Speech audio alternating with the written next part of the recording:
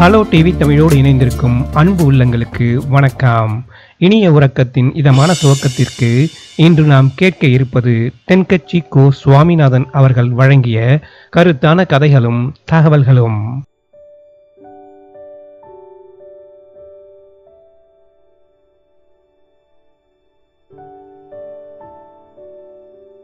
என்னுடைய நண்பர் ஒருத்தர். அவருக்கு ஜாதகத்துல நம்பிக்கை உண்டு. அவரே ஜோசியம்லாம் பார்ப்பார்.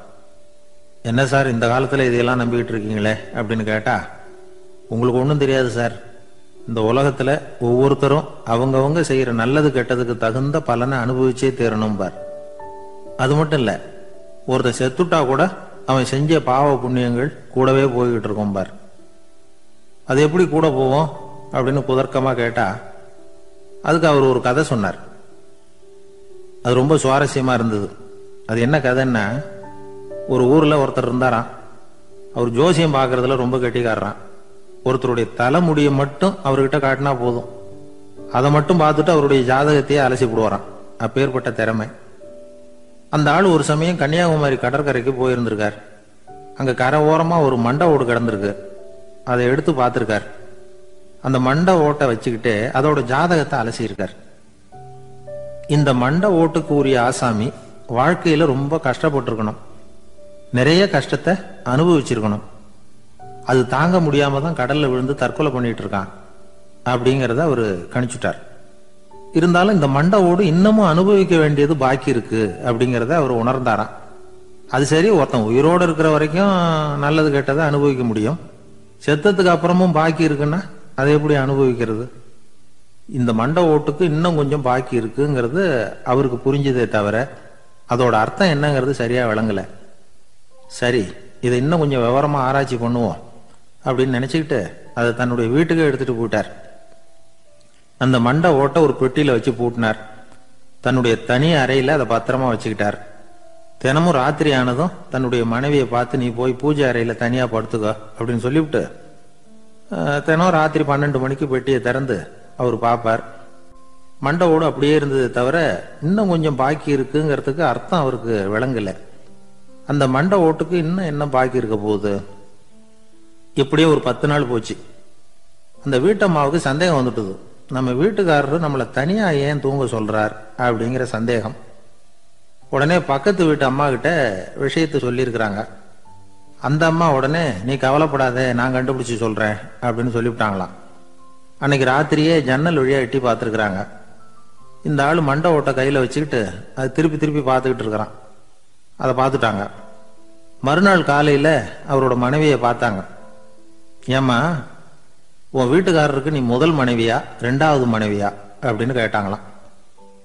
எனக்கு தெரிஞ்ச வரைக்கும் நான் ஒருத்தி தான் அவருடைய மனைவி அப்படின்னாங்களாம் அவங்க. அப்படி இல்லை. நீ அவருக்கு ரெண்டாவது மனைவி. முதல் மனைவியின் மண்டை ஓட்டை தான் அவர் தினமும் ராத்திரியில் எடுத்து பார்த்துக்கிட்டு இருக்கிறார் அப்படின்னாங்க. அடுத்த விட்டம்மா. அம்மா அப்படியா விஷயம் அப்படின்னு சொல்லிவிட்டு கணவன் வீட்டில் இல்லாத நேரமாக பார்த்து அந்த மண்டை ஓட்டை எடுத்து கொண்டாந்து ஒரு உரல்ல போட்டு உலக்கையால குத்தி நொறுக்க ஆரம்பிச்சிட்டாங்க. வெளியில போயிருந்த அந்த ஆள் அப்பதான் உள்ள நுழைஞ்சார். மண்டை ஓடு உலக்கை கிட்ட குத்து வாங்கிட்டு இருக்கு. அது அனுபவிக்க வேண்டியது இன்னும் கொஞ்சம் பாக்கி இருக்குங்கிறதுக்கு அர்த்தம் எனக்கு இப்பதான் புரிஞ்சுது அப்படின்னாராம் அவர். இந்த கதையிலிருந்து நாம இன்னொரு நீதியையும் புரிஞ்சுக்கணும். அதாவது நம்ம வீட்டை பத்தி நமக்கு புரியாததெல்லாம் அடுத்த வீட்டுக்காரங்களுக்கு நல்லா புரியும்.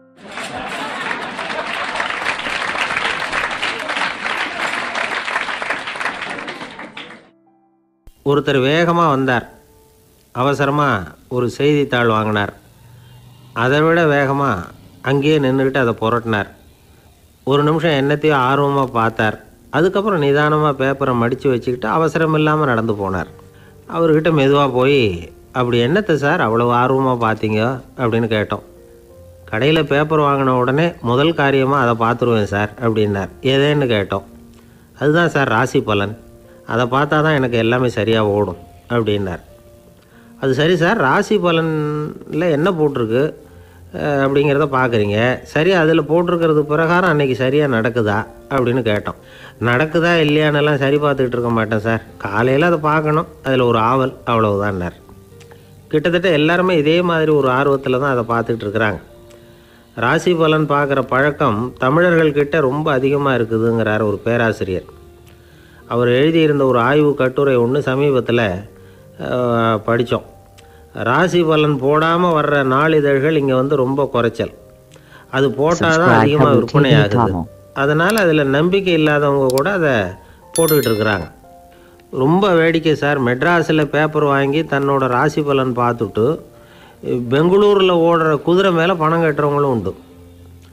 ராசி பலன் பார்த்துட்டு லாட்ரி சீட் வாங்குறவங்களும் உண்டு. இந்தியாவில் அச்சாகிற மொத்த லாட்ரி சீட்டில் எழுபது சதவீதம் தமிழ்நாட்டில் தான் விற்பனை ஆகுதான் இது முன்னாடி இங்கே அனுமதி இருந்த காலத்தில் உள்ள கணக்கு. இப்போ தான் அதை கட்டுப்பாடு பண்ணியாச்சு. வான் மண்டலம் பூ மண்டலத்தை பாதிக்கிறது உண்மைதான். அதை வந்து அறிவியல் பூர்வமாக சிந்திக்கணும். அதை விட்டுட்டு இன்று நண்பரால் பண வரவு அப்படின்னு ராசி பலன் பார்த்துக்கிட்டு இருக்கிறோம். நம்முடைய நண்பன் இன்னைக்கு பணம் கொண்டாந்து கொடுக்க போகிறான்ங்கிறது ஆகாயத்தில் உள்ள நட்சத்திரத்துக்கு எப்படி தெரியும்? அதுவும் இல்லாமல் இங்கே உள்ள நண்பர்கள் எந்த காலத்தில் பணம் கொண்டாந்து கொடுத்துருக்குறாங்க? நண்பர்களை வந்து பக்கத்திலேயே இப்போ இருந்து பார்க்குற நம்மாலேயே புரிஞ்சுக்க முடியல. எங்கேயோ இருக்கிற நட்சத்திரத்துக்கு என்ன தெரியும்?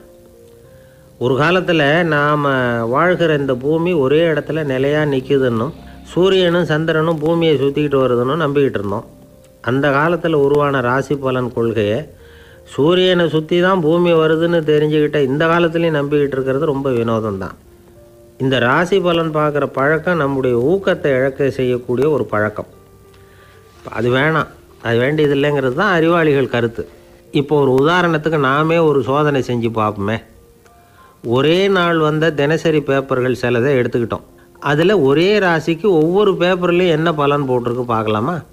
என்னுடைய நண்பர் ஒருத்தர் ராசிக்கு ஒவ்வொரு செய்தித்தாள்லேயும் என்ன ராசி பலன்னு பார்த்தோம். ஒரு பேப்பரில் செலவும் சிரமமும் அப்படின்னு போட்டிருக்கு. இன்னொரு பேப்பரில் சுலபமாக நன்மை அப்படின்னு போட்டிருக்கு. இதில் எதை நம்புறது? நீங்களும் ஒரு நாள் இதை சோதிச்சு பாருங்கள் பல பேப்பர் வாங்கி உங்கள் ராசிக்கு ஒவ்வொரு பேப்பர்லையும் என்ன போட்டிருக்குன்னு பாருங்கள் எல்லாம் ஒரே விதமாக இருக்காது. மாறி மாறி இருக்கும். என்னுடைய நண்பர் ஒருத்தர் நானும் ஒரு நாள் கடையில் பேப்பர் வாங்கினோம். நண்பர் வந்து ராசி பலன்லாம் ரொம்ப நம்பிக்கை இல்லாதவர். இருந்தாலும் நான் பேப்பர் வாங்கின உடனே உங்கள் ராசி என்ன சொல்லுங்கள் பலன் என்னன்னு பார்க்கலாம்னு. அவர் சிரிச்சுக்கிட்டு அதெல்லாம் டூப்புங்க. அதை ஏன் பார்க்குறீங்கன்னார். சும்மா சொல்லுங்கன்னு. என் ராசி தனுசு.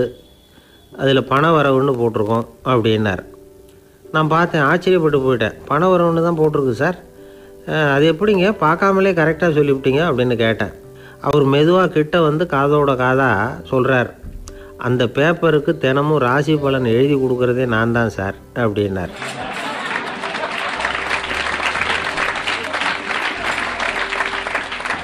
ஒரு ஆள் இருந்தார்.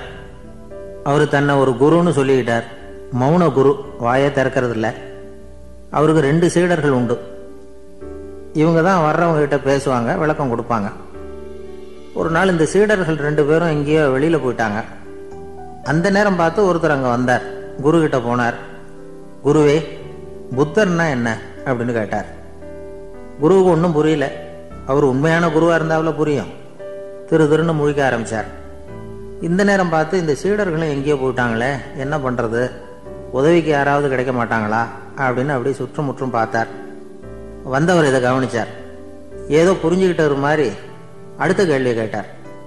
தர்மம்னா என்ன சுவாமி? அப்படின்னார். குருவுக்கு ரொம்ப சங்கடமாக போச்சு. நம்ம நிலைமை இப்படி ஆயிட்டுதே. இக்கட்டில் விட்டுட்டு போயிட்டாங்களே எங்கேயோ. இப்படி மாட்டிக்கிட்டோமே. அப்படின்னு சொல்லி விட்டத்தை பார்த்தாராம். அப்புறம் குனிஞ்சு தரையை பார்த்தார்.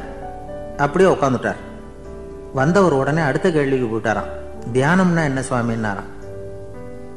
பாவம் என்ன பண்ணுவார் அந்த குரு? பேசாம கண்ணை கெட்டியா மூடிக்கிட்டார். இது ஏதடா வம்பா போச்சுன்னு. இவர் இப்படி பண்ணா கூட வந்தவர் சளைக்கல. இன்னொரு கேள்வியும் கேட்டார்.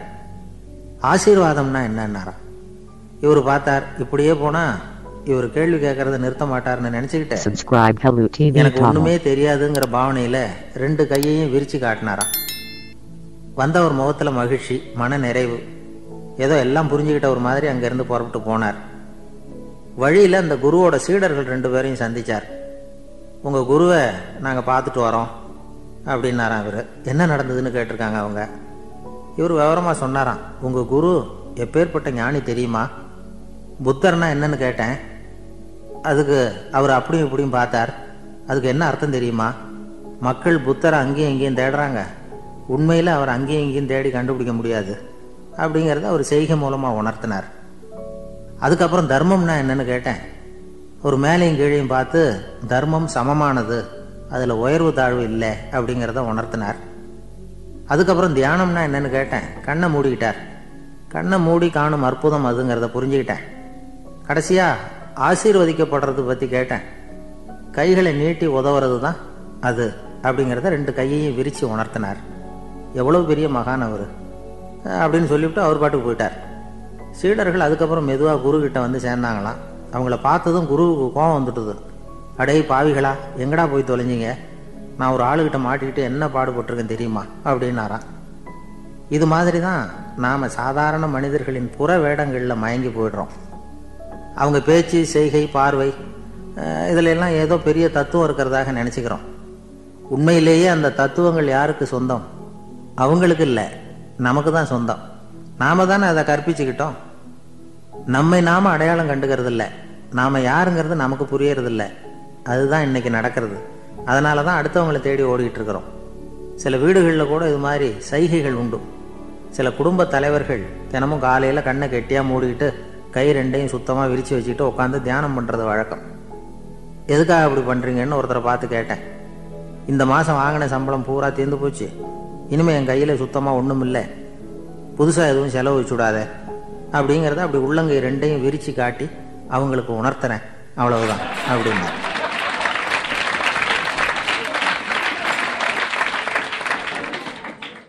ஒரு கடைக்கு போனேன். அஞ்சு ரூபா பணத்தை எடுத்து கொடுத்தேன்.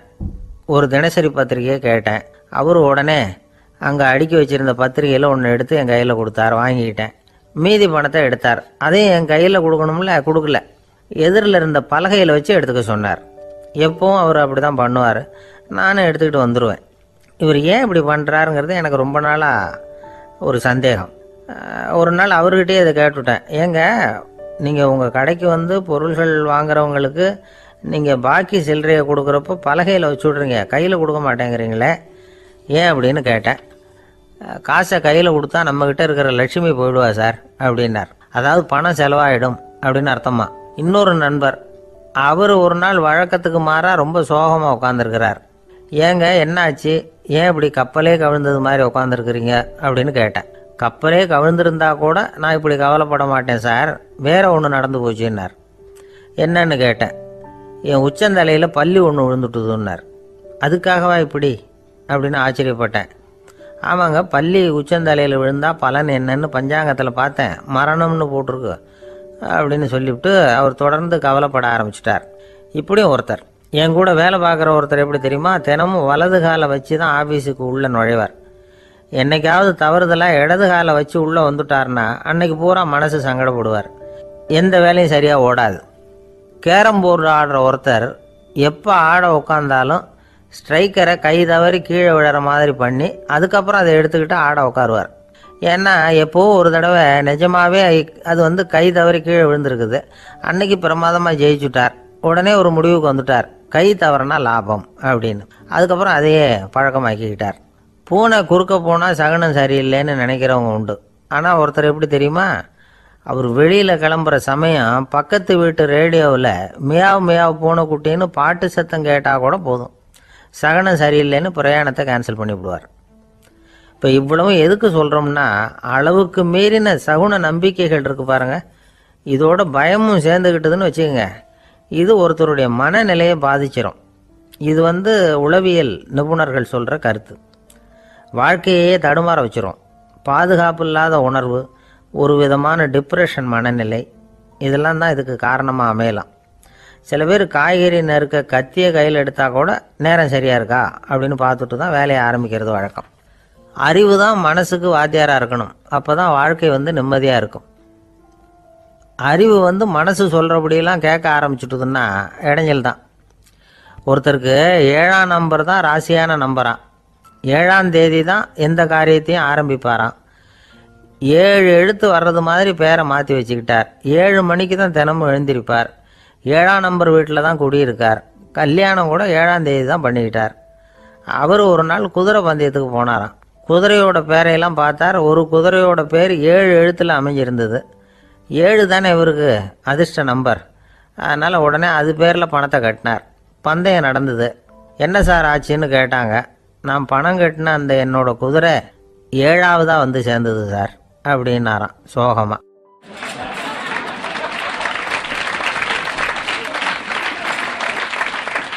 என்னுடைய நீண்டகால நண்பர் ஒருத்தர் வருஷம் தவறாமல் திருநள்ளாறு அப்படிங்கிற திருத்தலத்துக்கு போயிட்டு வர்றது வழக்கம்.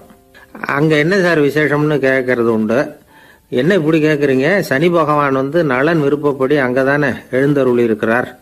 அவரை போய் பார்த்து ஒரு கும்பிடு போட்டுட்டு வந்தா நம்ம பிடிச்சிருக்கிற சனியெல்லாம் விலகும் அப்படிம்பார்.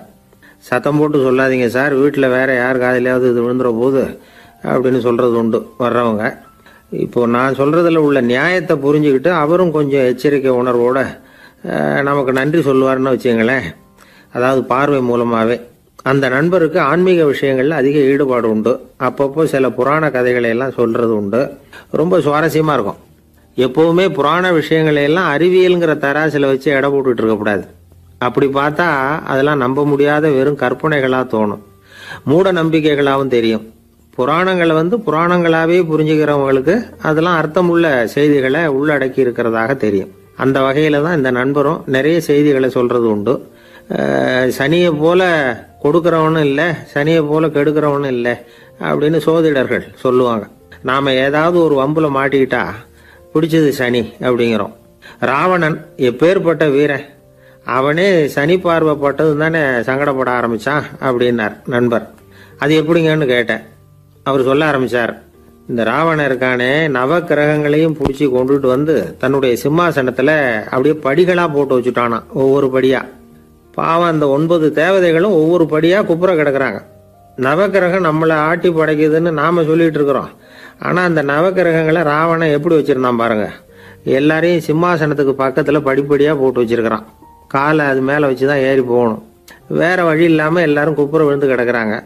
ராவணன் வந்து ஒவ்வொரு தடவையும் இவங்க முதுகில் அடி வச்சு ஏறி தான் அந்த சிம்மாசனத்துக்கு போகிறது வழக்கம். இப்படி நடந்துகிட்டு இருக்கிறது நாரதர் கண்ணில் போட்டுட்டு தான் அவர் சும்மா இருப்பாரா? யோசனை பண்ணார். என்ன செய்யலாம் அப்படின்னு.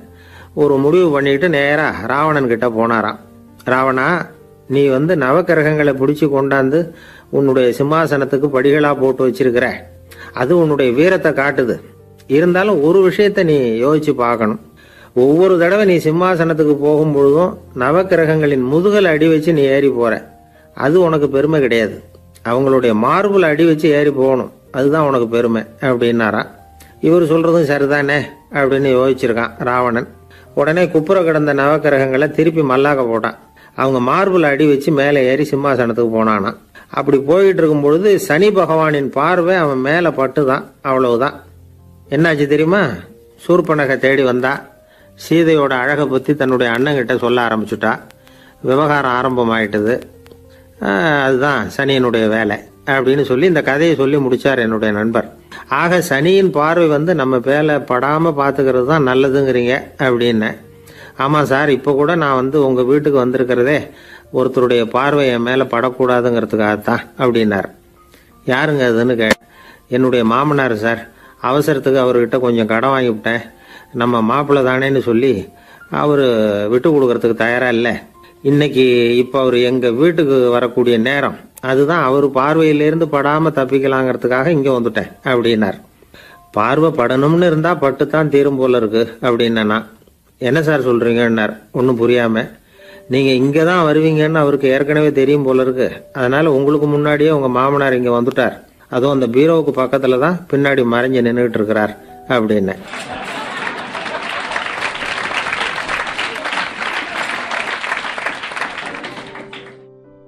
ஒரு சன்னியாசி அவர் ஒரு நாள் ஒரு கனவு கண்டாராம். அந்த கனவில் அவர் சொர்க்கத்துக்கு போகிறார் அங்கே ஒரு பெரிய திருவிழா நடந்துக்கிட்டு இருக்குது. எங்கே பார்த்தாலும் அலங்கார வளைவுகள் வண்ணமயமான விளக்குகள் பாதைகள் பூரா மலர்கள். எல்லா கட்டடங்களும் ஒளிமயம். அவ்வளவு கோலாகலமாக பிரம்மாண்டமாக அந்த திருவிழா நடந்துக்கிட்டு இருக்குது. அது என்ன திருவிழாங்கிறது இந்த சன்னியாசிக்கு புரியல.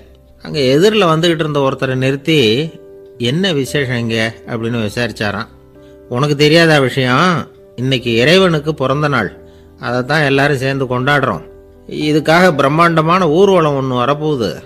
இறைவனே அந்த ஊர்வலத்தில் கலந்துகிறார் அப்படின்னார் அவர். உடனே அந்த சன்னியாசி ஒரு மரத்து நிழலில் ஒதுங்கி நின்றுக்கிட்டார் ஊர்வலம் வந்துக்கிட்டு இருக்குது. முதல்ல ஒரு குதிரை வந்துக்கிட்டு இருக்கு. அது மேலே ஒருத்தர் உட்காந்துருக்கிறார் அவருக்கு பின்னாடி நிறைய பேர் கூட்டமாக வந்துக்கிட்டு இருக்கிறாங்க. இவ்வளவு கூட்டம் இவர் பின்னாடி வருதே யார் இவர்? அப்படின்னு கேட்டார். ஒரு மதத்தின் பெயரை சொல்லி இவர் வந்து அந்த மதத்தின் தலைவர். அவரை பின்பற்றுகிற மக்கள் கூட்டம் பின்னாடி வந்துகிட்டு இருக்குது அப்படின்னு விவரம் சொல்லியிருக்கிறாங்க. இவங்களுக்கு அடுத்தபடியாக இன்னொரு குதிரையில் ஒருத்தர் வந்துக்கிட்டு இருக்கிறார். அவருக்கு பின்னாடி ஏகப்பட்ட கூட்டம். இவர் யாருங்க அப்படின்னு கேட்டிருக்கார் சன்னியாசி. அங்கே இருக்கிறவங்க விவரம் சொல்லியிருக்கிறாங்க. இன்னொரு மதத்தின் பெயரை சொல்லி இவர் அந்த மதத்தினுடைய தலைவர். அவர் வழியை பின்பற்றுகிறவர்கள் அவர் பின்னாடி கூட்டமாக வந்துக்கிட்டு இருக்கிறாங்க அப்படின்ட்டு இருக்காங்க இப்படி ஒவ்வொருத்தராக குதிரை மேலே வந்துக்கிட்டே இருக்கிறாங்க. அவங்கள பின்பற்றியும் ஒவ்வொரு கூட்டம் வந்துக்கிட்டே இருக்குது. அந்த பெரிய ஊர்வலம் அது பாட்டுக்கு போய்கிட்டு இருக்குது கடைசியாக அது முடிஞ்சது. ரொம்ப நேரம் கழிச்சு. அதுக்கப்புறம் கொஞ்சம் நேரம் கழித்து ஒரு வயசான ஆள் குதிரை மேலே வந்துக்கிட்டு இருக்கிறார் ஆனால் அவருக்கு பின்னாடி யாருமே இல்லை. அவர் பரிதாபமாக தனியாக வந்துக்கிட்டு இருக்கிறார் அவர் அந்த ஊர்வலத்தை சேர்ந்தவரா இல்லையாங்கிறதே தெரியல. இவர் யார்? இவர் ஏன் இப்படி தனியாக வந்துக்கிட்டு இருக்கிறார்? அப்படின்னு கேட்டிருக்கார் அந்த சன்னியாசி. என்னது இப்படி கேட்குறீங்க இவர் தான் கடவுள். இவருக்காக தான் இன்னைக்கு இந்த ஊர்வலமே நடக்குது. இவருக்கு தான் இன்றைக்கி பிறந்த நாள். முன்னாடி போகிற ஊர்வலம் பூரா இவருடைய பிறந்த நாளை கொண்டாடுறதுக்காக தான் அப்படின்ட்டுருக்காங்க இதை கேட்டதும் அந்த சன்னியாசிக்கு திடுக்குன்னு தூக்கி போட்டிருக்கு. இது வரைக்கும் கனவு கண்டுகிட்டு இருந்தவர் முடிச்சுக்கிட்டார் அதுக்கப்புறம் தான் யோசித்து பார்த்துருக்கார். உண்மைதான். மக்கள் எல்லாரும் வந்து பக்தி மார்க்கத்தில் போகிறதா நினச்சிக்கிட்டு பாதை மாறி போயிட்டு இருக்கிறாங்க கடவுளை பின்பற்றுவதாக நினைக்கிறாங்க பக்தர்கள். ஆனால் கடவுளுக்கு பின்னாடி யாருமே இல்லை.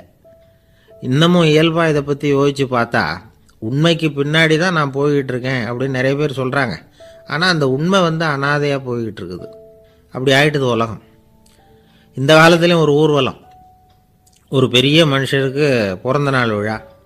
அவர் குதிரை மேலே ஏறி முன்னாடி போயிட்டுருக்கிறார். அவருக்கு பின்னாடி ஒரு நூறு பேர் தொண்டர்கள் அவங்க பாட்டுக்கு போகிறாங்க எல்லாம் பணம் கொடுத்து ஏற்பாடு பண்ணவங்க. எல்லாம் பணம் வாங்கிட்டு பின்னாடி போயிட்டுருக்குறாங்க. கொஞ்சம் தூரம் நடந்ததும் கால் வலிக்க ஆரம்பிச்சுட்டுது. ஒவ்வொருத்தரும் அப்படியே ஒதுங்க ஆரம்பிச்சிட்டாங்க. அதான் முன்னாடியே பணம் கிடச்சிட்டுதே. இனிமேல் ஒதுங்கினா என்னன்னு ஒதுங்கிட்டாங்க. ஒரு கட்டத்தில் குதிரையில் போகிறவர் தற்செயலாக திரும்பி பார்க்குறாரு பின்னாடி யாருமே இல்லை. எல்லாரும் ஓடி போயிட்டாங்க. ஒரே ஒரு ஆள் மட்டும் ரொம்ப விசுவாசமாக பின்னாடி நடந்து வந்துக்கிட்டு இருந்தான். ஏன்ப்பா நீ மட்டும் வந்துக்கிட்டு இருக்கிறியே நீ வீட்டுக்கு போகலையான்னு கேட்டிருக்காரு அவர். நீங்கள் அந்த குதிரையையும் அதுக்குள்ளே வாடகை பணத்தையும் கொடுத்துட்டிங்கன்னா நானும் போயிடுவேன் அப்படின்னு நானா இந்த ஆள்.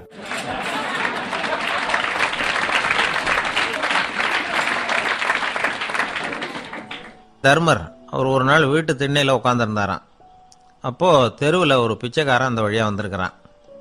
பிச்சை கேட்டிருக்கான். அந்த சமயத்தில் தர்மர் வேறு ஏதோ வேலையாக இருந்திருக்கிறார். அதனால் பிச்சைக்காரனை பார்த்து நாளைக்கு வா அப்படின்னு சொல்லிவிட்டார். அவனும் சரின்னு சொல்லிவிட்டு போயிட்டான். பீமன் இதை பார்த்துக்கிட்டு இருந்தான். உடனே அவன் என்ன செஞ்சான் தெரியுமா? ஒரு முரசை எடுத்துக்கிட்டு கிராமத்தை நோக்கி ஓடனான். முரசை அடிச்சுக்கிட்டு ஏதோ சொல்ல ஆரம்பிச்சிட்டான். தர்மருக்கும் இது தெரிய வந்தது. அவருக்கு ஒன்றும் புரியல. என்னாச்சு உனக்குன்னு? கேட்டார். பீமன் சொன்னான் நான் கிராம மக்களுக்கு ஒரு செய்தியை தெரிவிக்க போகிறேன் அப்படின்னா என்ன செய்தின்னார் எங்கள் அண்ணன் காலத்தை வென்றுட்டார் அப்படிங்கிற செய்தியை சொல்ல போகிறேன்னா நான் வந்து காலத்தை ஜெயிச்சுட்டேனா?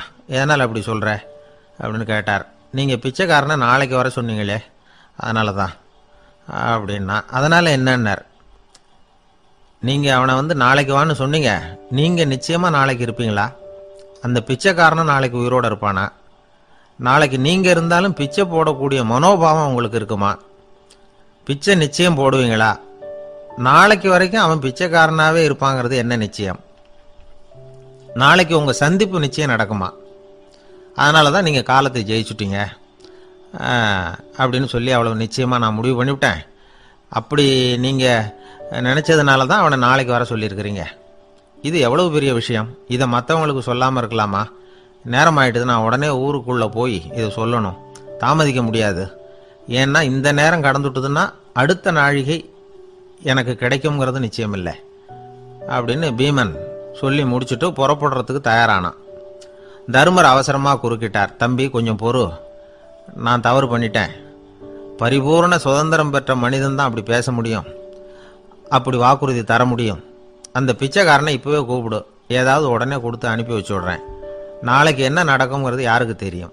அப்படின்னார். இந்த கதையிலேருந்து நாம் உணர்ந்து கொள்ள வேண்டிய உண்மை என்ன தெரியுமா? நிகழ்காலம் ஒன்று தான் நம்ம கையில் இருக்கிறது. அதை தவற விடாமல் சரியாக பயன்படுத்திக்கணும். கடந்த காலம்ங்கிறது திரும்பி வரப்போகிறதில்ல எதிர்காலங்கிறது எதிர்காலம்ங்கிறது இப்போ நம்மக்கிட்ட கிடையாது. அதனால் நிகழ்காலத்தை தான் நாம் பயன்படுத்திக்க முடியும். ஒரு ஊரில் ஒரு சோதிடர் இருந்தார். அவர் எதிர்காலத்தை பற்றி அதிகமாக சொல்லிகிட்டு இருப்பார். அவருடைய சோதிடத்தை எப்படியாவது பொய்யாக்கி போடணும் அப்படின்னு சொல்லி ரெண்டு இளைஞர்கள் தீர்மானம் பண்ணிட்டாங்க. அதுக்காக ஒரு திட்டம் போட்டாங்க. அது குளிர்காலம். ஒரு இளைஞன் பெரிய கோட்டு ஒன்று சட்டைக்கு மேலே போட்டுக்கிட்டான். அந்த மேல் கோட்டுக்குள்ளே ஒரு புறாவை மறைச்சி வச்சுக்கிட்டான். ரெண்டு பேரும் அந்த சோதிடர் வீட்டுக்கு போகிறாங்க அவரை பார்த்தாங்க. இதை பாருங்க இந்த கோட்டுக்குள்ளே ஒரு புறாவை மறைச்சி வச்சுருக்குறோம். அந்த புறா இப்போ உயிரோடு இருக்கா? இறந்து போச்சா? இதை நீங்கள் சொல்லணும். சரியாக சொல்லிவிட்டா உங்கள் ஜோசியத்தை நம்புகிறோம் அப்படின்னாங்க. இவங்க மனசுக்குள்ள என்ன திட்டம்னா புறா உயிரோடு இருக்குன்னு அவர் சொல்லிவிட்டாருன்னா அப்படியே கையால் அமைக்க அதை. கொண்டு விட வேண்டியது. புறா உயிரோடு இல்லைன்னு சொல்லிவிட்டாருன்னா அப்படியே உயிரோடு எடுத்து காட்டிக்கு விட வேண்டியது. இதுதான் அந்த இளைஞர்களோட திட்டம். அவர் என்ன பதில் சொன்னாலும் அவர் சொல்றது பொய்ன்னு நிரூபணம் பண்ணிவிடலாம்ல. இதுதான் அவங்க நம்பிக்கை. இந்த சோதிடர் எல்லா வகையிலையும் தப்பிக்க முடியாதுன்னு அவங்க நம்பினாங்க. ஆனால் அந்த சோதிடர் சொன்ன பதில் இவங்களை திகைக்க வச்சுட்டுது. அவர் என்ன சொன்னார் தெரியுமா? உங்கள் கோட்டுக்குள்ளே இருக்கிற புறா உயிரோடு இருக்கா செத்து போச்சா? அப்படின்னு தானே கேட்குறீங்க அது உங்கள் கையில் இருக்குது அது சாகவும் இல்லை உயிரோடவும் இல்லை. அந்த பறவையின் வாழ்வும் சாவும் உங்கள் கையில் தான் இருக்குன்னார். இவங்க தோல்வியை ஒத்துக்கிட்டாங்க. இந்த கதையும் நமக்கு ஒரு உண்மையை உணர்த்துது. இன்றைய இளைஞர்கள் எதிர்காலங்கிற பறவையை தங்களுக்குள்ள வச்சிருக்கிறாங்க. அந்த பறவையின் வாழ்வும் தாழ்வும் அவங்க கையில் தான் இருக்கு. நமது வாழ்க்கைங்கிறது நமது கையில். நாம் நல்லா இருக்கிறதும் இல்லாமல் போகிறதும் நாம தான் காரணம். ஒரு மருத்துவமனை படுக்கையில் கிடந்த நோயாளி சொன்னார் டாக்டர் என்னோடய வாழ்வும் சாவும் உங்கள் கையில் தான் இருக்குது ஏன்னா இப்போ எனக்கு ஆப்ரேஷன் பண்ண போகிறது நீங்கள் அப்படின்னார். பயப்படாதீங்க எல்லாம் நாங்கள் பார்த்துக்குறோம்னார் டாக்டர். அதுக்குள்ளே டாக்டர் நான் இது வரைக்கும் ஆஸ்பத்திரி பக்கமே வைத்தியத்துக்குன்னு வந்ததில்லை. இதுதான் எனக்கு முதல் ஆப்ரேஷன் அதுதான் பயமாக இருக்குன்னார் நோயாளி. டாக்டர் சொன்னார் எனக்கும் இதுதான் முதல் ஆப்ரேஷன். அதுக்காக நான் என்ன பயப்படுறேன்னா பாருங்க தைரியமாக இருங்கன்னார். அதனால் நம்ம வாழ்க்கையை நாம தான் தீர்மானிக்கணும். அப்படி அதை தீர்மானிக்கிற பக்குவம் நமக்கு வந்துட்டதுன்னா வாழ்க்கையில் வெற்றி நிச்சயம்.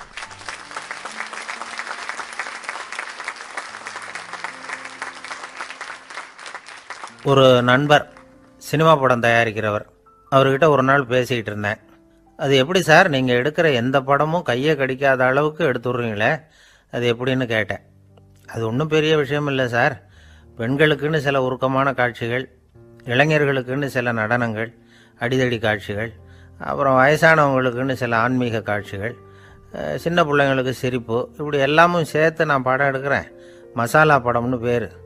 இது ரொம்ப பெருசாக இல்லைன்னாலும் ஓரளவுக்கு சுமாராக ஓடிரும். கையை கடிக்காது அப்படின்னார். இது ஒரு உத்தி. சில பத்திரிகை ஆசிரியர்களும் இந்த உத்தியை கையாளுறது உண்டு. இந்த உத்திக்கு பாரணம் உத்தி அப்படின்னு பேர். பாரணம் எஃபெக்ட் அப்படின்னு சொல்லுவாங்க. அதாவது ஃபீனியஸ் டி பார்னம் அப்படின்னு ஒருத்தர் அமெரிக்காவில் இருந்தாராம். அதாவது பத்தொம்போதாம் நூற்றாண்டில் அமெரிக்காவில் கொடிகட்டி பறந்த ஒரு சர்க்கஸ் நிறுவனத்தின் அதிபர் அவர். இந்த உலகத்தில் ஒவ்வொரு நிமிஷமும் ஒரு ஏமாளி பறந்துக்கிட்டே இருக்கிறான் அப்படிங்கிறது அவருடைய சித்தாந்தம். ஒவ்வொருத்தரையும் திருப்திப்படுத்துகிற அளவுக்கு அம்சங்களை கொஞ்சம் கொஞ்சமாக கலந்து கேளிக்கை நிகழ்ச்சிகளை நடத்தினது தான் அவருடைய மகத்தான வெற்றிக்கு காரணம். அதனால் அந்த உத்தியை யார் கடைப்பிடிச்சாலும் சரி அதுக்கு பாரணம் உத்தி அப்படின்னு பேர் வந்துட்டுது. ஜோசியம் சொல்கிறவங்களுக்கும் இந்த உத்தி தான் கை கொடுக்குது. ஒரு விஷயத்த ஒருத்தருடைய கோல் நிலைகள் அல்லது கையெழுத்து நிரூபிக்கிறதாக அவர்கிட்ட சொன்னால் அதை அவர் நம்பிவிடுவார். ஆனால் அந்த விஷயம் நல்லதாக இருக்கணும் நேர்மையானதாக இருக்கணும் அதாவது பாசிட்டிவாக இருக்கணும். எட்டாம் இடத்துல குரு ஒன்பதாம் இடத்துல சனி நீங்கள் ஒரு பெரிய மேதை தான். அப்படின்னு சொல்லுவாங்க. கேட்குறவங்களுக்கு அதை மறுக்கிறதுக்கு மனசு வராது. அப்படி சொல்லும் பொழுது கூடவே என்ன கொஞ்சம் முன்கோபம் அதிகமாக இருக்கும் இருந்தாலும் அது உடனே மறைஞ்சிரும். அப்படின்னு சில அற்ப விஷயங்களையும் சொன்னாலும் அதையும் சரிதான்னு சொல்லி ஒத்துக்குவாங்க. ஆளுமையை எடை போடுகிற ஒரு நிறுவப்பட்ட உத்தியின் மூலமாக தன்னுடைய குணாதிசயங்கள் கண்டுபிடிக்கப்பட்டதாக அவர் நம்புறது தான் இதுக்கு காரணம். இந்த மாதம் பணத்தட்டுப்பாடு கொஞ்சம் இருக்கும். உடம்புல ஏதாவது கொஞ்சம் அசௌகரியம் இருக்கும். வீட்டுக்குள்ளே லேசாக மனஸ்தாபம் வரலாம். இது மாதிரி பொதுப்படையாக சிலதை சொன்னாலே போதும் மக்களை நம்ப வச்சுடலாம். இதெல்லாம் நமக்கு மட்டும்தான் ஏற்படுது அப்படின்னு சொல்லி அவங்க நினைக்கிறது தான் காரணம். இதுதான் பாரணம் உத்திங்கிறது மனிதர்கள் வந்து பாராட்டுகளை விரும்புகிறதும் விமர்சனங்களை வெறுக்கிறதும் பாரணம் உத்தியின் அடுத்த கூறு. அதனால் ஒருத்தருக்கு ஜோசியம் சொன்னாலும் சரி அவருடைய ஆளுமையை மதிப்பிடுறதாக இருந்தாலும் சரி அவரை புகழற மாதிரி இருந்தாலும் சரி அப்படி இருந்தால் தான் அது சரியாக இருக்கும். சாதகமான விஷயங்களை வந்து அதிகமாகவும் பாதகமான விஷயங்களை நாசூக்காகவும் சொன்னால் மக்கள் வந்து அதை நம்பிவிடுவாங்க ஒருத்தரை கருமின்னு சொன்னால் ஏற்றுக்க மாட்டார். அதையே கொஞ்சம் மாற்றி நீங்கள் கொஞ்சம் சிக்கனமான ஆசாமி அப்படின்னு சொன்னால் நீங்கள் சொல்கிறது சரிதான் சார் அப்படிம்பார். நீங்கள் பெரிய செலவாளி தான். இருந்தாலும் நல்ல விஷயங்களுக்கு தான் செலவழிப்பீங்க அப்படின்னு சொல்லணும். இப்படி இந்த பாரணம் உத்தியை கடைபிடிச்சி இன்னைக்கு வெற்றிகரமாக காலம் தள்ளுறவங்க நிறைய பேர் இருக்கிறாங்க. இந்த உலகத்தில் ஒவ்வொரு நிமிஷமும் ஒரு ஏமாளி பறந்துக்கிட்டே இருக்கிறான் அப்படிங்கிறது தான் ஃபீனியஸ் பார்னம் அவர்களுடைய நம்பிக்கை. அதை விட அடுத்தவங்களை ஏமாளியாக நினைக்கிற மனுஷர்கள் தான் இன்னைக்கு வந்து உலகத்தில் ரொம்ப அதிகம். ஒருத்தர் தன்னுடைய மேலதிகாரிகிட்ட போய் ஐயா ஒரு நாள் லீவு வேணும் என் தங்கச்சிக்கு கல்யாணம் அப்படின்னார். அவர் பார்த்தார். ஒரு பத்து நிமிஷம் வெளியில் இருங்கன்னார். பத்து நிமிஷம் கழித்து கூப்பிட்டார். இதை பாருங்கள் நீங்கள் சொல்கிறது பொய். இப்போ உங்கள் தங்கச்சிக்கு ஃபோன் பண்ணேன். அவங்க தனக்கு ரெண்டு வருஷத்துக்கு முன்னாடியே கல்யாணம் ஆகிட்டதாக சொல்கிறாங்க அப்படின்னார். உடனே இவர் சொன்னார் சார் இப்போ நீங்கள் சொல்கிறதும் பொய்யாக தான் இருக்கணும். ஏன்னா நிஜமாக எனக்கு ஒரு தங்கச்சியே கிடையாது அப்படின்னார்.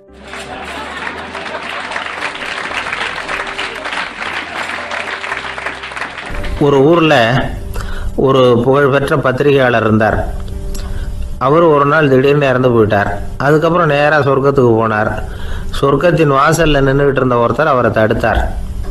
இதை பாரு ஏற்கனவே இங்கே பன்னெண்டு பத்திரிகையாளர்கள் இருக்கிறாங்க. அவங்களுக்கே இங்கே வேலை இல்லை. அதுக்கு என்ன காரணம்னா சொர்க்கத்தில் திடுக்கிடும் செய்திகள்லாம் ஒன்றும் கிடையாது. அப்படி என்ன இருக்க போகுது இங்கே? இங்கே எல்லாம் அது ஒழுங்காக நடந்துக்கிட்டு இருக்கோம். எல்லாம் ஒழுங்காக நடந்தால் பத்திரிகைகளுக்கு சுவாரஸ்யமான கொலை கொள்ளை தீ வைப்பு இது மாதிரி எதுவும் இங்கே இல்லை. ஏற்கனவே இங்கே இருக்கிறவங்க எல்லாரும் மரத்தடியில் உட்காந்துக்கிட்டு தியானம் பண்ணிகிட்டு இருக்கிறாங்க. அந்த ஒரே செய்தி தான் தினமும் இங்கே வந்துக்கிட்டு இருக்குது. அதை படிக்கிறதுக்கே இங்கே ஆள் கிடையாது. அதனால் நான் என்ன சொல்கிறேன்னா நீ பேசாமல் நரகத்துக்கே போயிடு. அங்கே எவ்வளவோ நிகழ்ச்சிகள் நடந்துக்கிட்டு இருக்கு. அங்கே தான் அதிகமான பத்திரிகையாளர்கள் தேவைப்படுறாங்க. அங்கே உனக்கு நிறைய வேலை இருக்கும். அதை செய்கிறதில் நீயும் மகிழ்ச்சியாக இருக்கலாம் அப்படின்னு சொன்னாராம். அங்கே அந்த சொர்க்கத்தின் வாசலில் நின்றுக்கிட்டு இருந்தவர். இந்த பத்திரிகையாளர் அங்கேயே நின்று கொஞ்சம் யோசனை பண்ணார். இவருக்கு சொர்க்கத்திலே இருக்கணும்னு தான் ஆசை. அதனால் மெதுவாக அவர்கிட்ட பேசினாராம். ஐயா என்னை ஒரு இருபத்தி நாலு மணி நேரம் இங்கே உள்ளே இருக்கிறதுக்கு அனுமதி கொடுங்க. இங்கே இருக்கிற பல பத்திரிகையாளர்களை எனக்கு தெரியும். அவங்களில் சில பேரை சமாதானப்படுத்தி மெதுவாக பேசி நரகத்துக்கு அனுப்பி வச்சுட்றேன். நான் இங்கே இருந்துக்கிறேன். உங்கள் கணக்குப்படி பன்னெண்டு பேருக்கு மேலே இங்கே தாண்டாது. அப்படி பார்த்துக்கிறேன் அப்படின்னாராம். அவரும் யோசனை பண்ணி பார்த்துட்டு சரி அப்படியே உனக்கு அனுமதி கொடுக்குறேன். ஆனால் ஒரு விஷயம் இருபத்தி நாலு மணி நேரம் தான் அனுமதி. அதுக்குள்ளே எல்லாம் நடக்கணும் அப்படின்ட்டுருக்கார் சரின்னு சொல்லிவிட்டு இந்த பத்திரிகையாளர் உள்ளே போனார். யோசனை பண்ணார். திட்டம் போட்டு ஒரு பொருளையை கிளப்பி விட்டார். சக பத்திரிகையாளர்கள் எல்லாம் கூப்பிட்டு சொன்னாராம். இந்த பாருங்க நரகத்தில் ஒரு பெரிய தினசரி பேப்பரை கொண்டுகிட்டு வர்றதுக்காக திட்டம் போட்டுக்கிட்டு இருக்காங்க. அதுக்கு பல அதிகாரிகள் தேவைப்படுறாங்க. நிறைய சம்பளம் கிடைக்கும். யார் யாரெல்லாம் நரகத்துக்கு போக ஆசைப்படுறாங்களோ அவங்கெல்லாம் போகலாம் அப்படின்னு ஒரு பொருளையை கிளப்பி விட்டார். இருபத்தி நாலு மணி நேரம் கழித்து வாசல் பக்கம் போனார். அங்கே இருந்தவர்கிட்ட எத்தனை பேர் வெளியேறினாங்கன்னு விசாரிச்சாராம். அப்போ அவர் இவரை நீ வெளியே போகக்கூடாது. முதல்ல உள்ளே தான் இருக்கணும். அப்படின்னு தடுத்தாராம். அப்புறம் சொன்னாராம் நீ சொன்ன செய்தியை கேட்டதும் இங்கேருந்த எல்லா பத்திரிகையாளர்களுமே நரகத்துக்கு போயிட்டாங்கப்பா.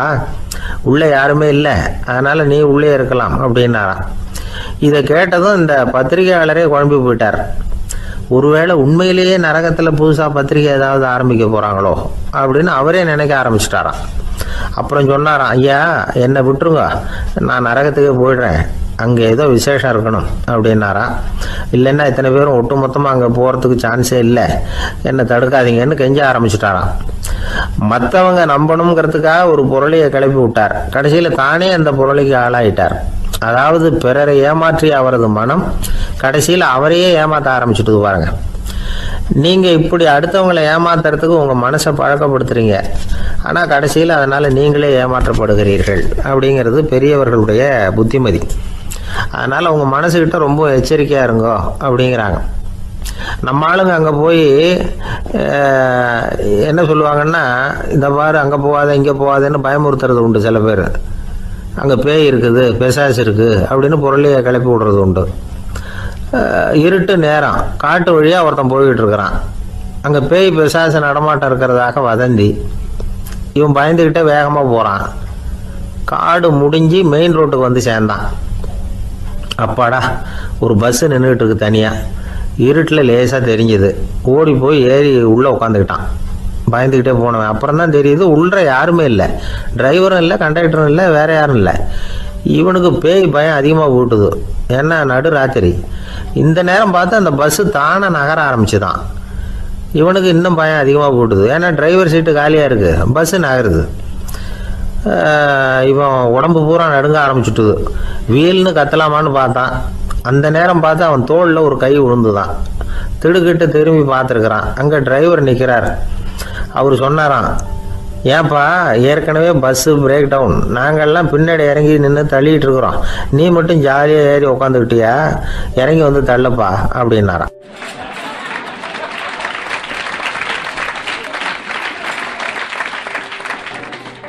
நம்மளை மாதிரி ஒரு ஆசாமி அவன் நம்மளை மாதிரியே கற்பனை பண்ணான். அதாவது நாம தான் இந்த உலகத்துல ரொம்பவும் கஷ்டப்படுறோம். மற்றவங்கெல்லாம் சந்தோஷமா இருக்கிறாங்க அப்படின்னு அவன் நினைச்சுக்கிட்டான்.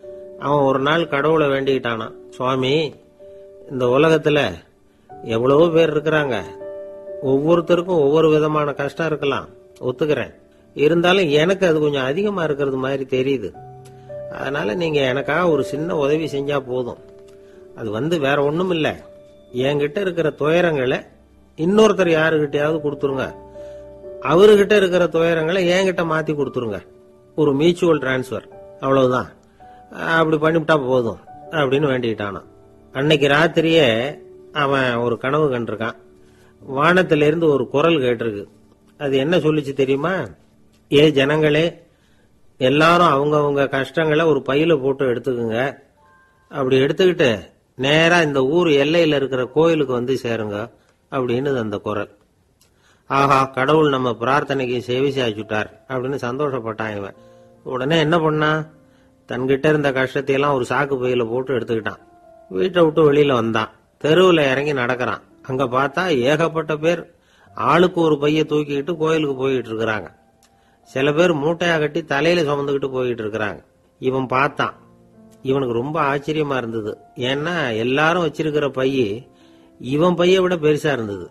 இவன் பை தான் இருக்கிறதுலயே கொஞ்சம் சின்னதா தெரிஞ்சது. இப்ப அவன் மறுபடியும் சாமியை வேண்டிக்கிட்டான். கடவுளே இப்ப உள்ள சூழ்நிலையை கவனிச்சா என்கிட்ட இருக்கிற பைய பரவாயில்லன்னு தோணுது.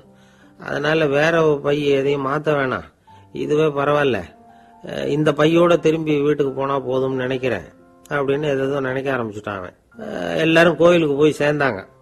கோயில்ல அந்த குரல் மறுபடியும் கேட்டுது. எல்லாரும் அவங்கவுங்க பைகளை சோகத்துல தொங்க விடுங்க. திடீர்னு விளக்குகள் அணையும். மணி அடிக்கப்படும். அதுதான் அடையாளம். அந்த சமயத்துல இருட்டில் உங்களுக்கு வேண்டிய பைய நீங்கள் வந்து மாற்றி எடுத்துக்கலாம். தேர்ந்தெடுத்துக்கலாம் வெளிச்சம் இருக்கிறப்பவே உங்களுக்கு பிடிச்ச பைக்கு பக்கமாக பார்த்து நீங்கள் நின்றுக்கலாம் அப்படின்னு சொல்லி விவரம் சொல்லிச்சான் அந்த குரல். அப்படி சொன்னதுக்கு அப்புறம் திடீர்னு விளக்கு அணைஞ்சுது. மணி அடிச்சுது. கொஞ்ச நேரம் கழித்து மறுபடியும் விளக்குகள்லாம் எரிஞ்சுது.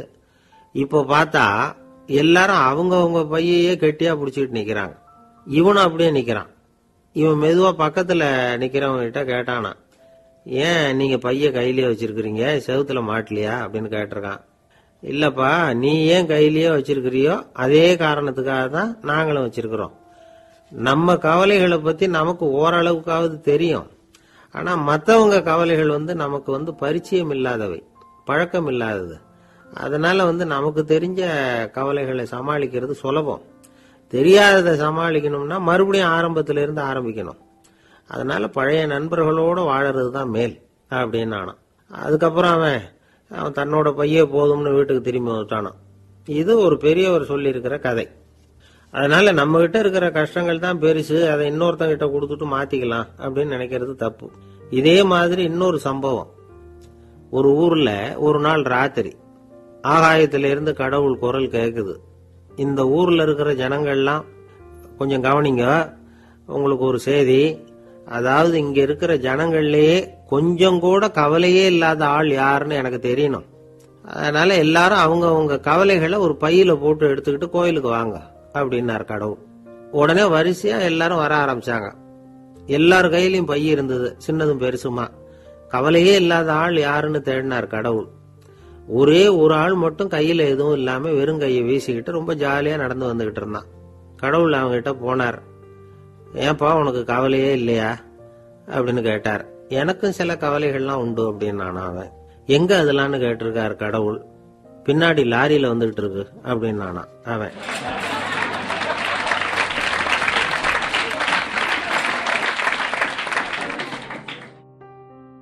ஒரு சராசரி மனிதனுடைய இயல்பு என்ன? இன்பம் வந்தா துள்ளி குதிப்பான். துன்பம் வந்தா சோர்ந்து போய் ஒரு மூலையில உட்காந்துருவான் இவன் தான் சராசரி மனிதன். ஆனா ஒருத்தன் இன்பம் வந்தா அதுக்காக மகிழ்ச்சி அடையிறதில்ல. துன்பம் வந்தா அதுக்காக சோர்ந்து போகிறதில்ல அப்படின்னு வச்சுக்கோங்க. அப்படி இருந்தால் அவன் சாதாரண ஆள் கிடையாது. ஒரு ஊர்ல ஒரு ஞானி இருந்தார். அவரை தேடிட்டு ஒரு பெரியவர் வந்தார். ஐயா ஞானத்தில் சிறந்த ஞானம் எது? அப்படின்னு கேட்டாராம். இதுக்கு அந்த ஞானி என்ன பதில் சொன்னார் தெரியுமா? இன்பத்தினால மகிழ்ச்சி அடையாமலும் துன்பத்தினால சோர்வு அடையாமலும் இருக்கிறது தான் அந்த ஞானம் பெரிய ஞானம் அப்படின்னாராம். சரி சுவாமி அப்படிப்பட்ட ஞானம் உங்களுக்கு எப்படி வந்ததுன்னு கேட்டிருக்காரு இவர். அதை நான் ஒரு கழுதைகிட்ட இருந்து கற்றுக்கிட்டேன் அப்படின்னாராம் அவர். இவருக்கு ஒன்றும் புரியல. ஒரு மாதிரியாக முழிச்சிருக்கிறார். இதை அவர் புரிஞ்சுக்கிட்டார். நீங்கள் நாளைக்கு காலையில் நம்முடைய ஆசிரமத்துக்கு வாங்க புரிய வைக்கிறேன்னாராம். சரின்னு அவர் போயிட்டார். மறுநாள் காலையில் ஆசிரமத்துக்கு வந்து சேர்ந்தார். ஞானி அவரை கூப்பிட்டு உட்கார வச்சார். வாங்க வந்து இப்படி உட்காருங்க. கொஞ்சம் நேரத்தில் இந்த வழியாக ஒரு கழுத போகும். அதை கவனித்து பாருங்கன்னாரா. இவருக்கு இன்னமும் ஒன்றும் புரியாமல் போச்சு. ஒரே குழப்பம். இருந்தாலும் அந்த ஞானி சொன்னது மாதிரியே உட்காந்துருக்கிறார் கொஞ்ச நேரத்தில் அந்த வழியாக ஒரு கழுத போச்சு. அது முதுக நிறைய அழுக்கு மூட்டைகள். அதை சுமந்துக்கிட்டு போகுது. ஒரு செலவு தொழிலாளி அதை ஓட்டிகிட்டு போகிறார் கொஞ்சம் தூரத்தில் ஒரு ஆறு இருக்குது அங்கே போய் துணியெல்லாம் சுத்தப்படுத்திக்கிட்டு சாயந்தரமாக திரும்பி இந்த வழியாகவே வருவாங்க. ஞானி சொன்னது மாதிரியே இந்த பெரியவர் அழுக்கு மூட்டையை சுமந்துக்கிட்டு போகிற அந்த கழுதையை கவனித்தார் கழுத போயிட்டுது. அதுக்கப்புறம் ஞானியை திரும்பி பார்த்தார். இப்போ அந்த ஞானி சொன்னார் சாயந்தரம் வரைக்கும் நீங்கள் இங்கேயே இருக்கணும்னார். அதே மாதிரி இவர் இருந்தார். சாயந்தரமாக அந்த ஞானி சொன்னார் ஐயா இப்போ கொஞ்ச நேரத்தில் அந்த கழுதை இந்த வழியாக திரும்பி வரும். அதையும் கவனித்து பாருங்கன்னார். இவரும் கவனித்து பார்க்குறார். கழுதை வந்தது. அது முதுகில் செலவை செய்யப்பட்ட துணி மூட்டை அது பாட்டுக்கு சுமந்துக்கிட்டு போய்கிட்டு இருக்குது. பெரியவருக்கு ஒன்றும் புரியல. பொறுமை இழந்துட்டார். சரி சுவாமி இந்த கழுதைக்கும் உங்கள் ஞானத்துக்கும் என்ன சம்பந்தம்? அப்படின்னார். இப்போ அந்த ஞானி விளக்கினார். ஐயா இந்த கழுதை இதே மாதிரி தினமும் காலையில் அழுக்கு மூட்டைகளை சுமந்துக்கிட்டு ஆற்றுக்கு போகுது. மாலையில் வெண்மையான சுத்தமான துணிகளை சுமந்துக்கிட்டு திரும்பி ஊருக்கு போகுது. காலையில் இது போகும்பொழுது முதுகில் அழுக்கு மூட்டைகளை சுமந்துக்கிட்டு போகிறோமேங்கிற வருத்தமும் அதுக்கு கிடையாது. சாயந்தரம் திரும்பி வரும்பொழுது சுத்தமான துணிகளை சுமந்துக்கிட்டு வர்றோமேங்கிற மகிழ்ச்சி அதுக்கு இல்லை. இதை பார்த்து தான் நானும் அது மாதிரி ஞானத்தை கற்றுக்கிட்டேன் அப்படின்னாராம். அதனால் யார் கற்றுக் கொடுக்குறாங்க அப்படிங்கிறத விட எதை கற்றுக்கிறோம் அப்படிங்கிறது தான் முக்கியம். ஒரு சினிமா பார்க்குறோம். ஒரு அருவி கொட்டுறது மாதிரி காட்சி வருது தண்ணீர் வழியுது படம் முடிஞ்சதும் பார்த்தீங்கன்னா அந்த திரை என்ன நனைஞ்சு போயா இருக்கும்? ஒரு தீப்பிடிச்சு எரியிற காட்சியை சினிமாவில் பார்க்குறீங்க. காட்சி முடிஞ்சதும் அந்த வெண் திரையே கருகி போயா இருக்கும்.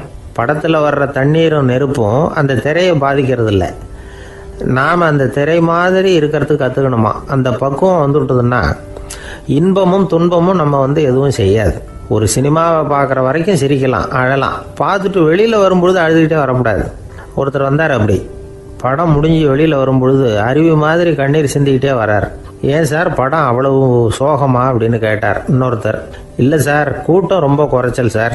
மொத்தம் படம் பார்க்க வந்தவங்களே பதினஞ்சு பேர் தான் சார் அப்படின்னார். கண்ணீரை தொடச்சிக்கிட்டே. அதுக்கு நீங்கள் ஏன் சார் அழறீங்கன்னு கேட்டார் அவர். இந்த படத்தோட தயாரிப்பாளரே நான் தான் சார் அப்படின்னாரா இவர்.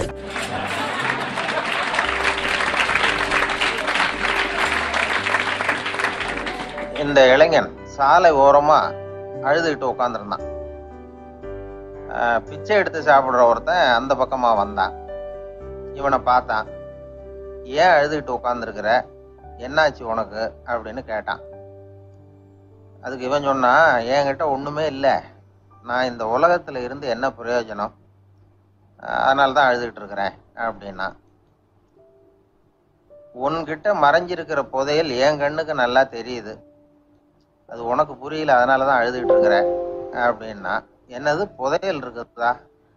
உன் கண்ணுக்கு தெரியுதா? அப்படின்னு கேட்டான். ஆமா எனக்கு தெரியுது. அந்த புதையலை நீ விற்கிறதுக்கு தயாரா இருக்கிறியா? அப்படின்னு கேட்டான் இவன். இதை கேட்டதும் அந்த இளைஞனுக்கு ரொம்ப ஆச்சரியமா போச்சு. என்னது இப்படி கேட்குறானே அப்படின்னு. என்கிட்ட ஒரு காசு கூட இல்லையே.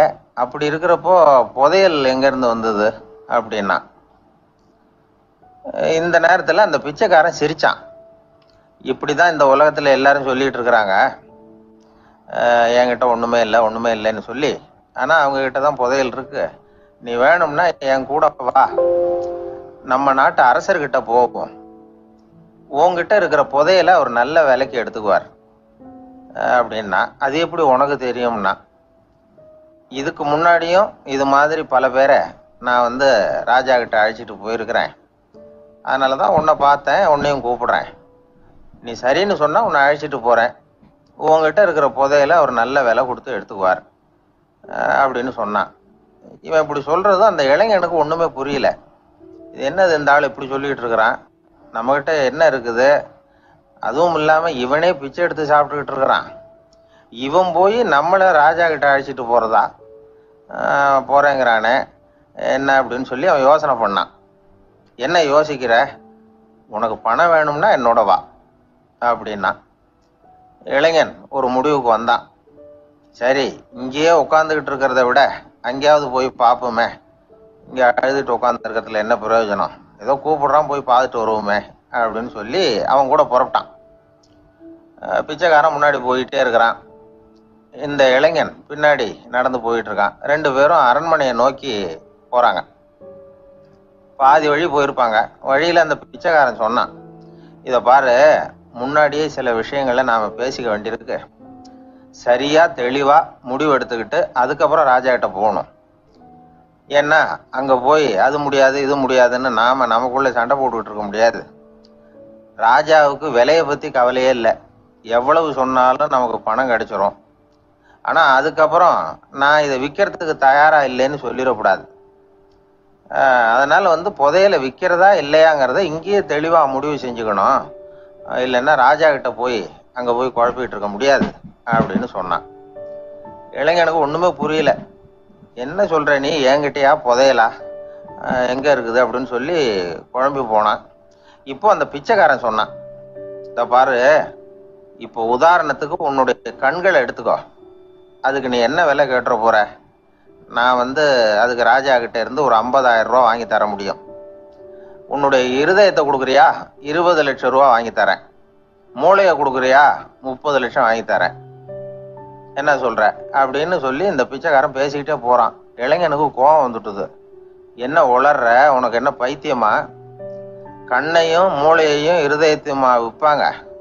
என்ன விலை கொடுத்தாலும் அதையெல்லாம் நான் விற்கிறதுக்கு தயாராக இல்லை. நான் விற்க மாட்டேன். அதை கொடுத்துட்டு நான் என்ன பண்ணுறது இப்படி நான் மட்டும் இல்லை யாருமே இதை விற்கிறதுக்கு தயாராக இருக்க மாட்டாங்க அப்படின்னு சொன்னான் அந்த இளைஞன்.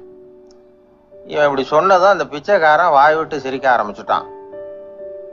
இப்போ பைத்தியமானது நானா நீயா? லட்சக்கணக்கான கோடிக்கணக்கான ரூபாய் பொறுமானம் உள்ள பொருள்களை உங்ககிட்டயே வச்சுக்கிட்டு விற்க முடியாதுன்னு சொல்ற நீ தான் ஏழை. என்கிட்ட ஒண்ணுமே இல்லைன்னு மரத்தடியில் உட்காந்து அழுதுட்டு இருக்கிறிய அப்படின்னு சொன்னான்.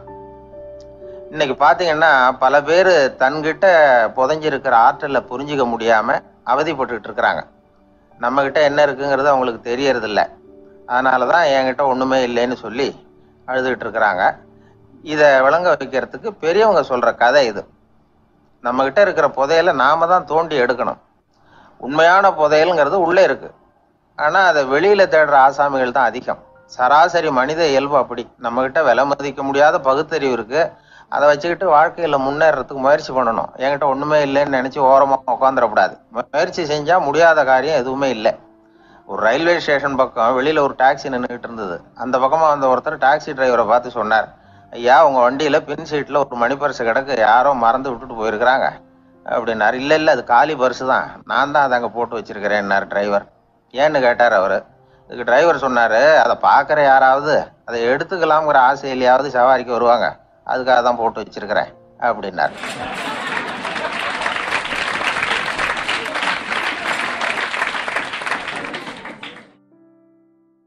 ஒரே ஒரு ஊர். அந்த ஊருக்கு பேர் கொடையாளிப்பட்டி.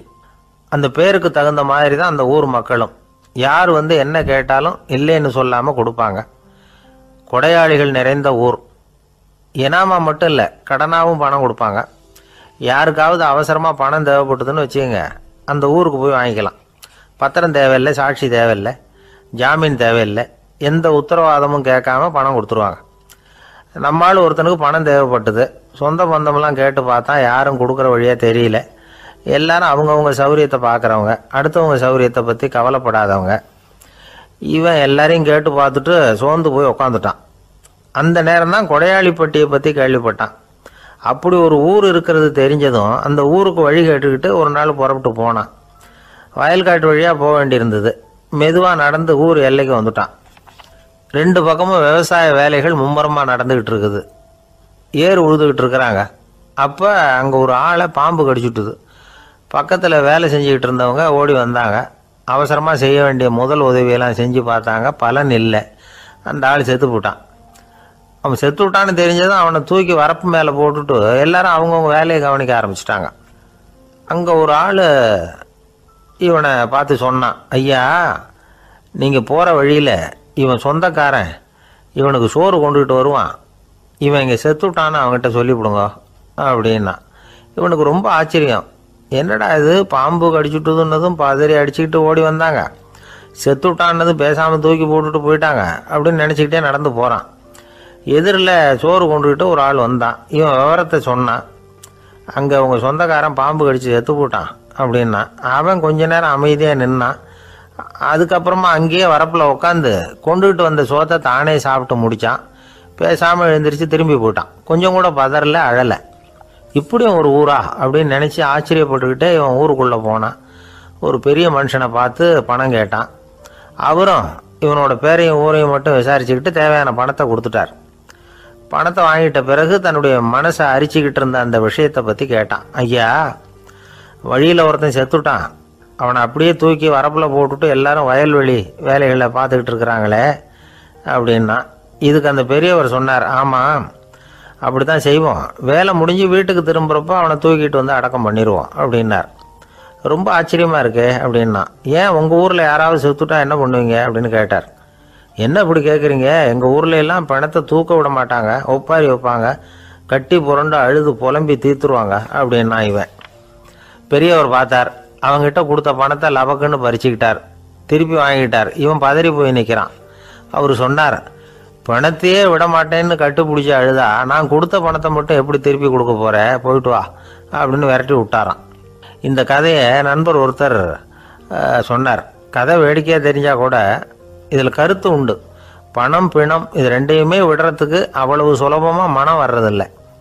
இந்த ரெண்டு விஷயங்கள்லேயும் அறிவார்ந்த செயல்பாடு தேவை. ஒரு பேருந்து மரத்தில் மோதி விட்டது. எல்லாரும் அடிபட்டு முனைகிட்டு கிடக்கிறாங்க. டிரைவர் கண்டக்டர் இவங்களுக்கும் அடி. அவங்களும் ஒரு பக்கம் கிடக்கிறாங்க. ஒரு மூலையில் கிடக்கிற ஒருத்தன் மெதுவாக முக்கி முனகி கண்டக்டர் கண்டக்டர்னு சத்தம் போடுறான். கண்டக்டர் மெதுவாக நகர்ந்து அவங்ககிட்ட போய் என்னன்னு விசாரிக்கிறார். அவன் ரொம்ப சிரமப்பட்டு வாயை திறந்து ஒரு பதினஞ்சு காசு சில்லற பாக்கி அப்படின்னானான்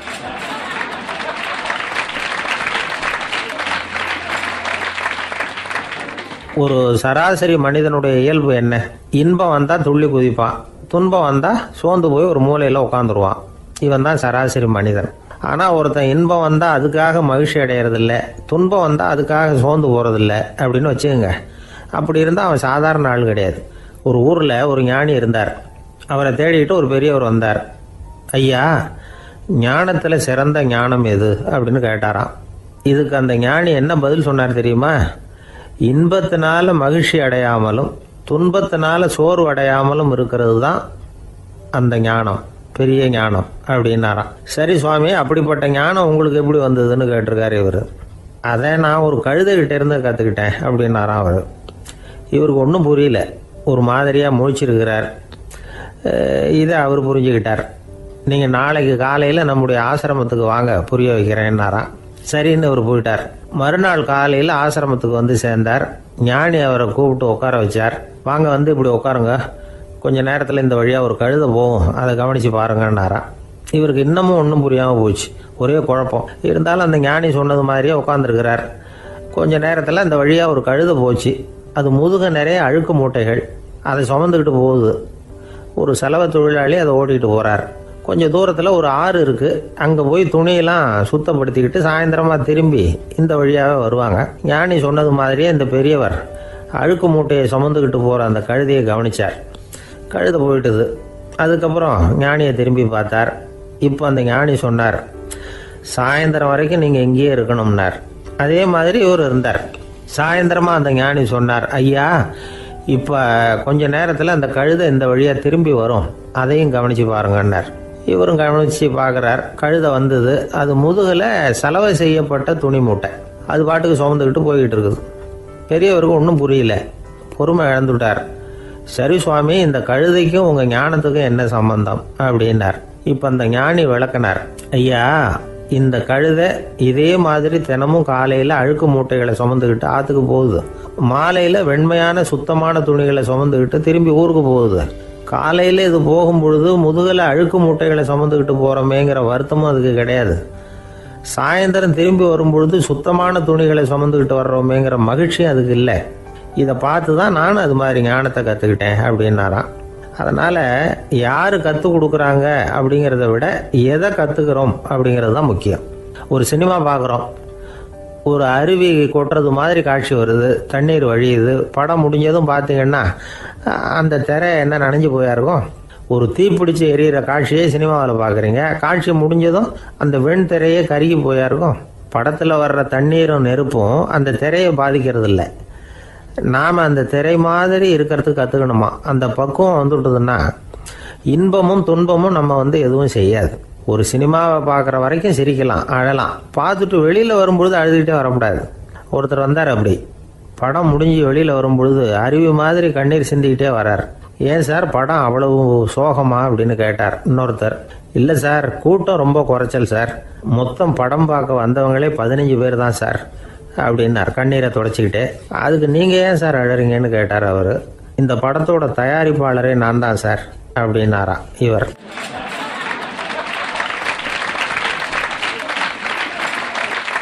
ஒரு ரயில் வேகமாக போயிட்டுருக்கு. அது ஒரு ரயில்வே ஸ்டேஷனில் கொஞ்ச நேரம் நின்றுது அப்போ அதில் ஒரு ஆள் ஏறினார். தலையில் ஒரு மூட்டையை வச்சுருந்தார். மூட்டையை தலையில் சுமந்துக்கிட்டே உள்ளே வந்தார். மூட்டையை தலையில் சுமந்துக்கிட்டே ஒரு இடத்துல உட்காந்தார் ரயில் மறுபடியும் புறப்பட்டது. இவர் தன் தலையில் இருந்த மூட்டையை கீழே இறக்கி வைக்கணும்ல? வைக்கல. சுமந்துக்கிட்டே வரார். எதிரில் உட்காந்துருந்தவர் கேட்டார் ஏங்க ஏன் இப்படியே உட்காந்துருக்குறீங்க தலையில் மூட்டையை வச்சுக்கிட்டு மூட்டையை கீழே இறக்கி வைக்கலாமே? அப்படின்னார். வேணாங்க பாவம். தலையில் இருக்கிற மூட்டையை இறக்கி ரயிலில் வச்சா ரயிலுக்கு பாரம் அதிகமாக இருக்கும் அப்படின்னார் அவர். இப்படி ஒரு ஆளை பார்த்தா நமக்கு சிரிப்பு தான் வரும். ஏன்னா ரயிலுங்கிறது அந்த மூட்டையையும் சேர்த்து சுமந்துக்கிட்டு தான் போகுது. அவன் அந்த மூட்டையை தலையில் வச்சுருந்தாலும் ஒன்று தான் தரையில் வச்சுருந்தாலும் ஒன்று தான் அதனால் ரயிலுக்கு எந்த மாற்றமும் ஏற்பட போகிறதில்ல அதே மாதிரி தான் நம்ம மனமும். இதுவும் ஒரு தேவையில்லாத சுமை. அனாவசியமாக சுமந்துக்கிட்டு இருக்கிறோம்.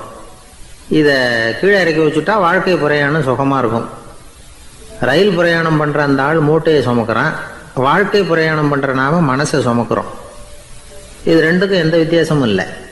மனசை கீழே இறக்கி வச்சுட்டா பாரம் இல்லாமல் வாழலாம்.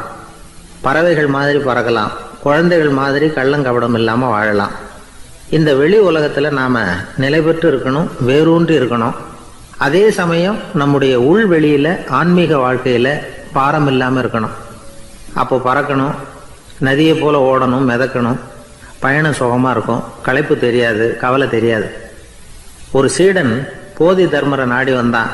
குருவே நீங்கள் வந்து என்ன வெறுமையாக இருக்க சொன்னீங்க. நான் இப்போ மறுபடியும் வெறுமையானவன் ஆகிட்டேன். அதனால் வந்து இப்போ என்ன செய்ய சொல்கிறீங்க என்ன? அப்படின்னு சொல்லி வந்து நின்னான். உடனே அந்த குரு பக்கத்தில் இருந்த ஒரு குச்சியை எடுத்து அவன் தலையில் அடித்து போய் அந்த வெற்றுத்தன்மையையும் வீசி எறிந்து விட்டு வா அப்படின்னார். நான் இப்போ காலியாக இருக்கிறேன்னு ஒருத்தன் சொல்கிறான்னு வச்சுங்க அது உண்மை இல்லை. ஏன்னா இன்னமும் அதில் நான்கிற எண்ணம் இருக்குது. எந்த சிந்தனையும் இல்லாமல் இருக்கிறது கடினம்தான். ஆனாலும் மனிதன் வந்து அதில் உள்ள நுட்பத்தை புரிஞ்சுக்கிட்டான்னா இவ்வளவு தூரம் தூக்கி சுமந்துக்கிட்டு வந்த அந்த மனதின் முட்டாள்தனத்தை அவனே பார்த்துட்டு சிரிப்பான். இதுதான் பெரியவங்க சொல்லியிருக்கிற ஆலோசனை. நம்மால் ஒருத்தன் தலையில் ஒரு பெரிய மூங்கில் கூடையோடு ரயிலில் வந்து உட்காந்தான் கூடை தலையில் இருந்தது கீழே இறக்கி வைக்கல. எதிரில் இருந்தவர் கேட்டார் ஏங்க எதுக்காக அதை அனாவசியமாக சுமந்துக்கிட்டே இருக்கீங்க? கீழே இறக்கி வைங்களேன்னார் இல்லைங்க நான் வீட்டை விட்டு புறப்படும் பொழுதே என் பையன் சொல்லிவிட்டான். கூடைய தலையை விட்டு இறக்கக்கூடாதுன்னு அப்படின்னார். அவன் சின்ன பையன் விவரம் இல்லாமல் சொல்லியிருப்பான். இப்போ என்ன நேரில் வந்தால் பார்த்துக்கிட்டு இருக்கிறான். நீங்கள் இறக்கி வைங்கன்னார் அவர். அவன் நேரில் பார்த்துக்கிட்டு இல்லை. இருந்தாலும் நான் இந்த கூடையை கீழே இறக்கி வச்சா அது அவனுக்கு தெரிஞ்சிடும் அப்படின்னாரு இவர். அது எப்படின்னார் அவர்? அவன் தனக்கு டிக்கெட் வாங்க வேணாம்னு சொல்லி இப்போ இந்த கூட தான் உட்காந்துருக்கிறான் அப்படின்னார் இவர்.